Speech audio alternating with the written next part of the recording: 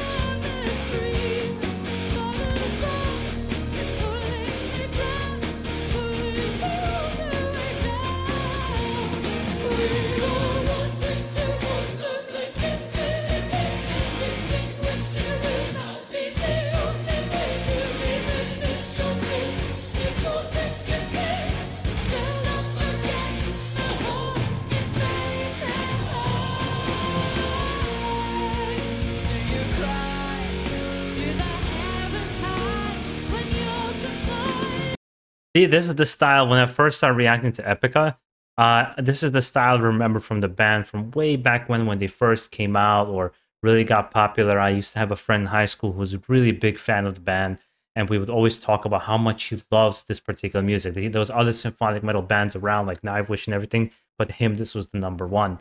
And that's what I thought Epica really stood for until you guys showed me also that almost like that death metal that they do in their later part of their career it's so nice to know, for especially for fans, that you have these two sides of a band you get to enjoy. The one so different from one another, and gives you a, a, an interesting reason to go back into their material back and forth because it changes so much. So far, despite the fact you guys know the softer symphonic stuff is usually not my jam, I think the first of all Simone's voice and the overall kind of melody, I think is quite beautiful.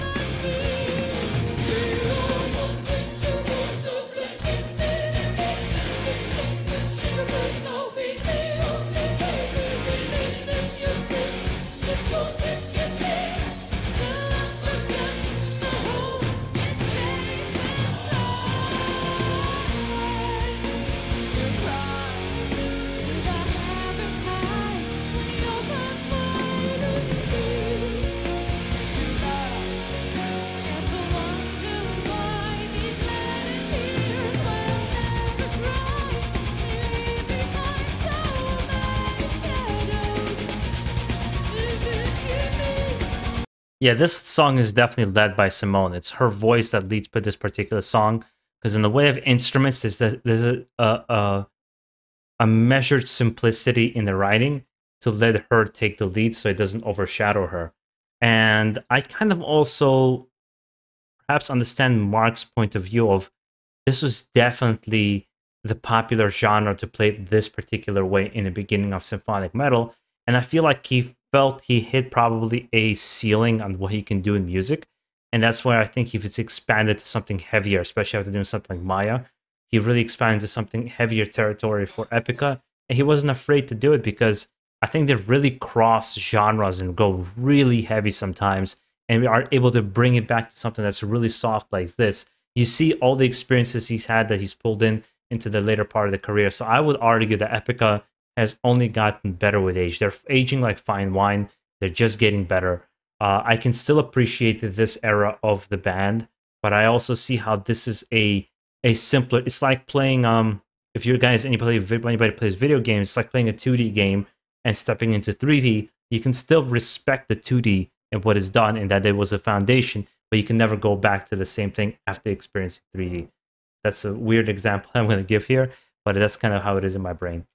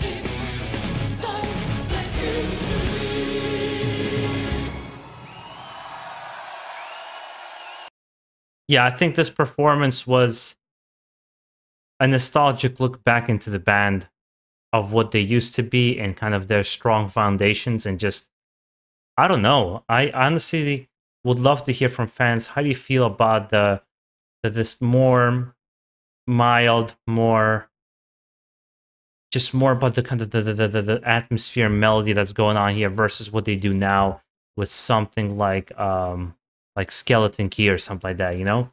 Uh, I really think the la- latest album from them is just like the pinnacle of a band, which rarely happens, I think, right?